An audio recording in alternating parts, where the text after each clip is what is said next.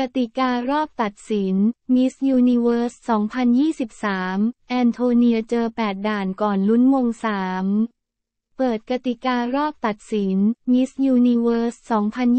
2023 กองแม่เคาะเองกับมือปีนี้คัดสาวงามเข้ารอบกี่คน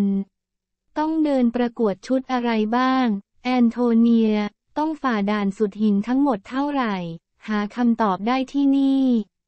ถูกจับตามองอย่างหนักชนิดที่ว่าแฟนนางงามถึงขั้นหืดขึ้นคอกันเลยทีเดียว สำหรับกติการอบตัดสิน Miss Universe 2023 Miss Universe 2023 ล่าสุด กองประกวดนางงามจักกรวาลได้เผยรายละเอียดออกมาเป็นที่เรียบร้อยแล้ว ตัวแทนสาวไทยอย่างแอนโทเนีย คซิลต้องฝ่าด่านการประกวดทั้งสิ้น 8 รอบด้วยกัน กติการอบตัดสิน Miss Universe 2023 ในปีนี้แตกต่างจากปี 2022 ตรงที่จำนวนผู้ผ่านเข้ารอบแรกซึ่งในปีนี้กองแม่ได้มีการเพิ่มพื้นที่เพื่อเปิดโอกาสให้สาวๆ ทั้ง 84 ชีวิตมากขึ้นจากท็อป 16 เป็น ท็อป 20 ส่วนการประกวดในรอบอื่นๆ มีดังนี้ ประกาศผลผู้ผ่านเข้ารอบ 20 คนสุดท้าย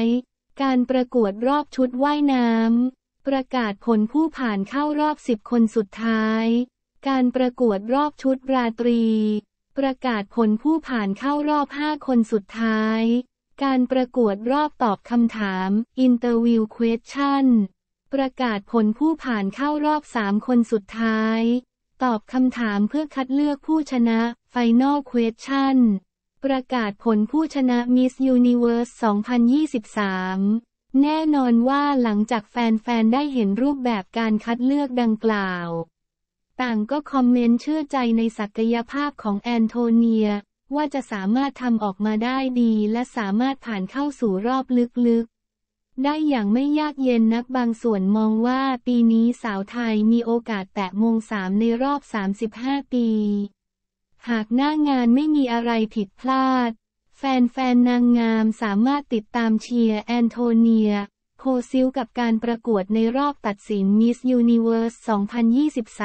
2023ได้ทางหน้าจอโทรทัศน์ในวันที่ 19 พฤศจิกายน 2566 ตั้งแต่เวลา 7 นาฬิกา เป็นต้นไป ถ่ายทอดสดทางช่อง JKN 18